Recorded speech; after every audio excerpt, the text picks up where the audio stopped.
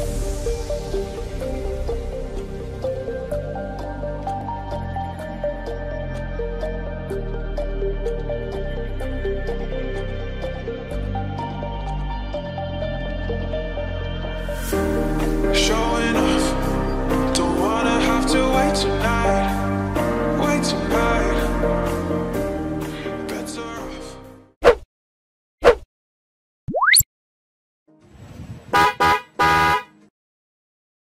Halo, apa kabar Tetermania? Ketemu lagi dengan saya Adnan Hasan, masih di Tech Channel. Ya, hari ini kita sudah eh, berkesempatan khusus ya melihat launchingnya terkait dengan New Carry si rajanya pickup ya di Januari 2021 tepatnya di tanggal 21 tadi pagi di YouTube-nya Suzuki Indonesia. Nah, menarik sekali karena memang eh, konsep launchingnya dari si Suzuki New Carry ini sekarang modelnya virtual ya. Nah, tadi kita sempat melihat ya beberapa perubahan yang ada di New Carry ternyata tidak sesignifikan yang kita eh, pikirkan ya. Hanya perubahannya simple dan itu minimalis. Tetapi setidaknya ini adalah membuat si carry pickup ini menjadi satu-satunya kendaraan komersial yang cepat sekali melakukan perubahan secara eksterior. Nah, perubahannya apa aja? Yang pertama adalah dari wajah si New Suzuki Carry Pickup ini sekarang wajah depannya sudah berubah. Bempernya yang tadinya di sini lurus isi-isinya sekarang sudah lebih tembem ya. Memang mukanya sekarang lebih garang ya. Kemudian lihat bumper di bawahnya. Bumper di bawahnya sekarang modelnya sudah model kapak nih kayak katanya teman-teman di Suzuki ya. Suzuki Sis mengatakan bumpernya sekarang sudah mengaplikasikan seperti layaknya kapak. Jadi kapak tuh kokoh, kuat dan tangguh. Ya, harapannya memang Suzuki Carry Pickup menjadi angkutan muatan yang memang kokoh ya dan kuat gitu. Nah, secara tampilan luar tidak ada perbedaan lagi. Selanjutnya melakukan perbedaan di 2021 ini adalah New Suzuki Carry Pickup sudah dilengkapi dengan APAR. Apa itu APAR? APAR adalah alat pemadam api ringan. Nah, letaknya di mana? Yuk kita lihat APAR ini. Nah, Tetermania, kita coba lihat ya. APAR ini terletak di pintu sebelah kiri ya, di pintu sebelah kiri di mana letaknya?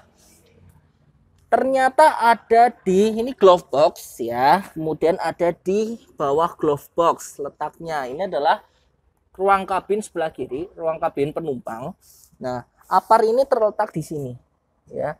Jadi Tatermania apar ini memang eh, tidak terlalu besar ya. Memang sangat praktis karena ukurannya yang kecil. Nah cara membukanya tinggal ditarik aja tuasnya. Kemudian hati-hati bisa dibawa. Nah cara penggunaannya tentunya kita, kita tidak akan eh, praktekkan di sini ya karena ketika ini kita gunakan otomatis sudah segelnya dianggap lepas ya dan tidak untuk digunakan kembali. Nah, ternyata Suzuki sudah memberikan garansi khusus juga untuk Apar ini. Jadi tidak perlu khawatir bagi konsumen pembelian pickup carry pickup ini ini juga digaransikan untuk Apar. Ya, tentunya syarat dan ketentuan juga berlaku. Kemudian kita juga tidak akan mencontohkan bagaimana caranya menggunakan si apar ini ya. Karena tentunya kalau kita buka ya udah nggak bisa dipakai lagi. Nah di sini juga sudah ada namanya tekanannya juga. Nih tekanan juga ya. Isinya ini bukan se- sebuah cairan ya. Tentunya lebih aman karena ini bentuknya adalah foam ya.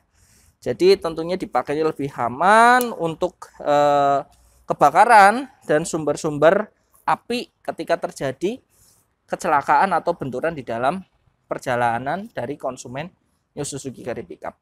Oke, nah yang menariknya lagi adalah eh, ini sudah menjadi peraturan eh, pemerintah ya regulasi baru di 2021.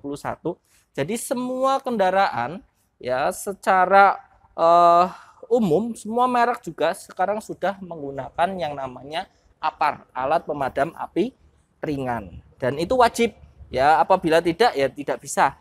Tidak bisa dijual belikan di masyarakat. Oke, itu. Thank you.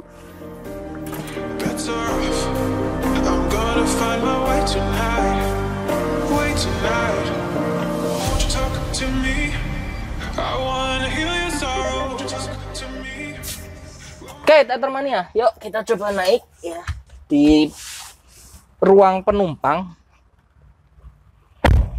Oke, ternyata luar biasa ya. E, dari dulu saya suka sekali terkait dengan Suzuki Carry Pickup ini ya karena memang memberikan wajah baru, nuansa baru dan ruang kabin juga yang baru. Nah, dari pertama kali launching dan sampai sekarang memang di kabin depan ini untuk leluasan kaki memang tidak ada masalah sama sekali kecuali si produk kompetitor ya memang kita agak kesulitan sendiri untuk ruang kaki di sebelah kanan dan kiri. Nah, untuk kiri ini Apar ini memang tidak mengganggu secara signifikan. Jadi penumpang bagian kiri masih sangat enjoy ya untuk duduk dan bisa selonjoran malah di sini. Ya, jadi tetap aman dan nyaman selama melakukan perjalanan bersama New Suzuki Carry Pickup si rajanya pickup.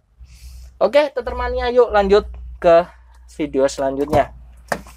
Oke, tetermania, uh, setelah kita melihat perubahan yang terjadi ada di New Carry Pickup, memang selanjutnya kita coba mengelilingi si unit ini. Memang benar tidak ada perubahan sama sekali yang ada di New Suzuki Carry Pickup 2021 selain yang pertama adalah tadi yaitu bumper depan. Yang kedua adalah alat pemadam api ringan. Namun secara bumper setelah berubah ada ukuran panjang yang memang dikurangi sekitar 4 cm dari New Carry 2020.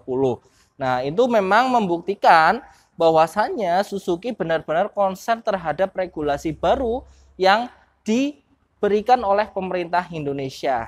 Nah, good job Suzuki. Baik teman-teman terima kasih banyak yang telah sudah mendukung channel kami ya. Jangan lupa terus subscribe, like, dan komen tentunya. Terima kasih ya, karena memang pickup telah membuktikan kejayaannya selama ini dan di 2021 juga memberikan kejutan yang menarik bagi konsumen di Indonesia. Terima kasih sudah menonton dan salam TED Channel. Terima kasih telah menonton video kami. Jangan lupa subscribe, like, share, dan komen. Sampai jumpa di video kami berikutnya. Salam TED Channel.